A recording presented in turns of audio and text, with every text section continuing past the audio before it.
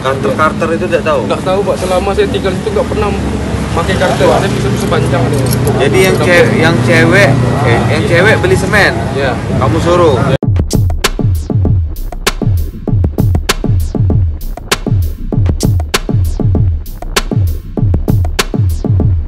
Bos distro di Palembang, Sumatera Selatan ciut saat ditangkap polisi karena kasus pembunuhan pegawai koperasi bernama Anton.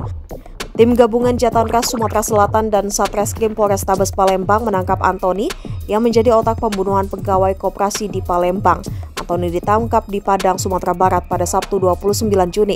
Dari video yang beredar, bos distro tersebut terlihat ketakutan saat menjelaskan kronologi kejadian pembunuhan sadis yang diotakinya. Dikutip dari Tribun Sumsel pada Sabtu 29 Juni, Antoni yang kabur ke Padang bersama istrinya diketahui polisi dari nyanyian tersangka Pongki yang sudah lebih dulu ditangkap di Batam.